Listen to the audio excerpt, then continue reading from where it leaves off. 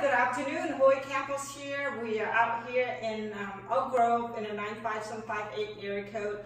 We're um, previewing this lovely home. It's new to the market. It's two bedroom, two bath. Take a look at this um, cute, adorable um, kitchen. And here is the family room right here. So it does have two bedroom, two bath.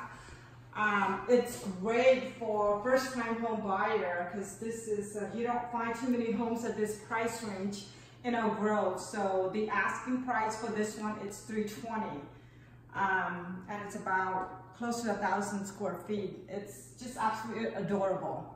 Um, anyway, hope everybody having a wonderful Friday and if you want additional information or want a private showing of this home, give one of us a call.